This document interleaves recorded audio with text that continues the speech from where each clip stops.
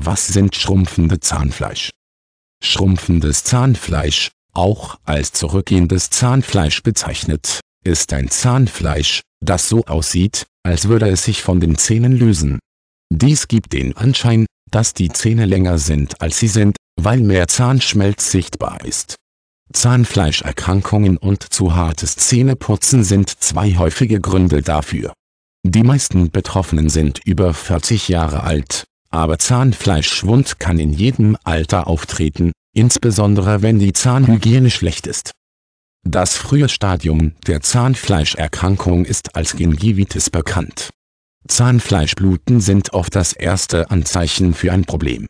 Zahnfleischentzündungen sind am Anfang häufig, bevor das Zahnfleisch nachlässt. Zahnärzte warnen Patienten häufig, auf eine rosa Zahnbürste zu achten, was eine einfache Möglichkeit wäre, Blutungen beim Reinigen der Zähne zu erkennen. Blutungen können auch ein Zeichen dafür sein, dass jemand zu stark putzt und das Zahnfleisch beschädigt. Dies kann auch zu Zahnfleischschwund und einem ungesunden Mund führen. Gingivitis wird durch die Bakterien verursacht, die sich auf natürliche Weise im Mund bilden. Diese Bakterien bilden Plaque, die beim ersten Auftreten weggebürstet werden können. Wenn es nicht durch gute Mundhygiene entfernt wird, härtet es zu Zahnstein aus, der normalerweise von einem Zahnarzt abgekratzt werden muss. Tata unterhalb der Zahnfleischlinie reizt das Zahnfleisch und führt dazu, dass es sich von den Zähnen entfernt. Zähne können besonders empfindlich auf heiße, kalte oder süße Speisen reagieren.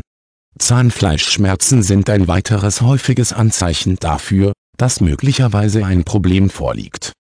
Wenn Gingivitis im frühesten Stadium nicht korrigiert wird, kann es zur Parodontitis kommen. Wenn dies auftritt, ist eine Zahnfleischrezession in der Regel viel sichtbarer wahrnehmbar. Manchmal wird der braune Zahnstein an der Zahnfleischlinie aufgrund von schrumpfendem Zahnfleisch sichtbar. Dieses Problem kann nicht nur unattraktiv sein, sondern auch die allgemeine Gesundheit einer Person beeinträchtigen. Schwindendes Zahnfleisch, besonders wenn es anfängt zu bluten, führt in der Regel zu einer Lockerung der Zähne.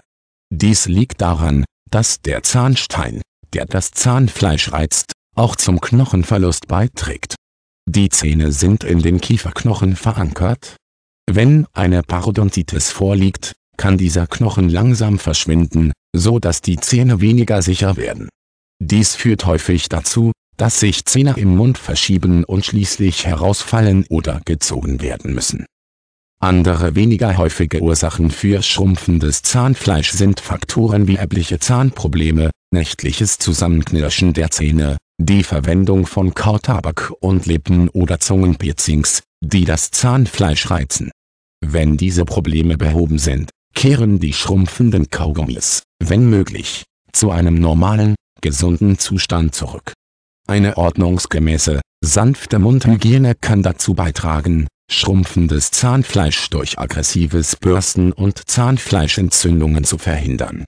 Gute Mundhygiene kann auch dazu beitragen, das Risiko von Erkrankungen wie Herzerkrankungen und Schlaganfällen zu verringern, da Parodontitis mit einer erhöhten Wahrscheinlichkeit für die Entwicklung dieser schwerwiegenden Erkrankungen in Verbindung gebracht wurde